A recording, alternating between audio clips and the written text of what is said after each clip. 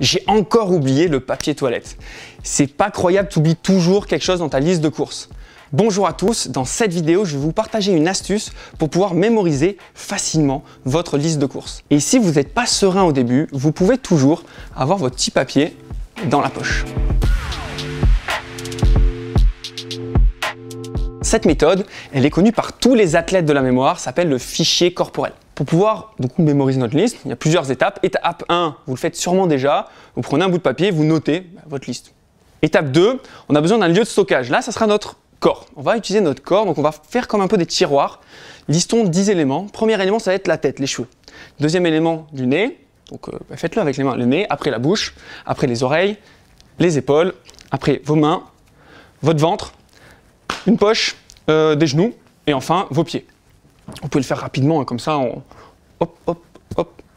Je vais y arriver, le ventre, les poches, les genoux et les pieds. C'est bon, vous les avez. Maintenant, mémorisons notre liste de 10 éléments.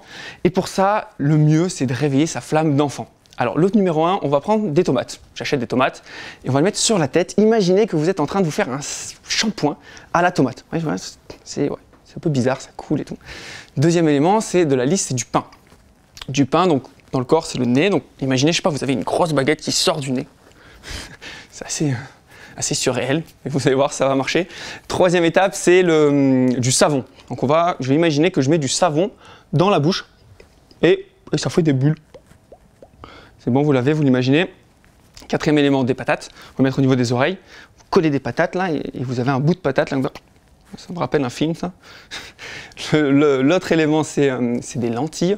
Des lentilles, je vais les poser sur mes, sur mes épaules. Et là, j'ai plein de lentilles. C'est un peu gênant, donc je les fais tomber. Autre élément, c'est des, pâtes. Donc euh, là, j'imagine des spaghettis que j'ai dans les mains et que je joue avec mes spaghettis. Comme ça, donc c'est c'est des épées quoi en spaghettis. L'étape d'après, c'est du fromage. Je pense à acheter du fromage. Donc là, je vais le mettre au niveau du ventre. J'ai peut-être faim ou je m'étale du fromage sur le ventre. Il paraît que c'est bon pour la peau. Ouais. L'étape d'après, c'est euh, acheter des couches. Alors des couches, dans, dans la poche, j'ai toujours une couche, couche ben, usagée, tiens. Ah, c'est un peu... Euh, bon, passons. Celui d'après, c'est des mouchoirs. Pensez à prendre des mouchoirs. Et là, on va essuyer notre genou avec des mouchoirs. Imaginez, vous avez plein de mouchoirs au niveau des genoux. vous essuyez les genoux. Et le dernier, ben, du PQ. Donc, euh, vous imaginez sur, sur, sur, vos pieds, vous tapez sur des rouleaux, ben, de papier toilette. Et vous tapez dedans. Donc c'est bon, vous avez imaginé tout ça. Maintenant, on se teste, on se teste du début. Donc le numéro 1, c'était dans la tête. C'était un shampoing à la tomate. Numéro 2, dans le nez, on avait une baguette, du pain. Numéro 3, des bulles, donc c'est du savon. Numéro 4, au niveau des oreilles, un bout de patate, c'est ça. Euh, le 5, c'est au, niveau des épaules. Qu'est-ce qui tombe? C'est des lentilles. Celui d'après, au niveau des mains, on a des, pâtes. Dans le ventre, on a du fromage.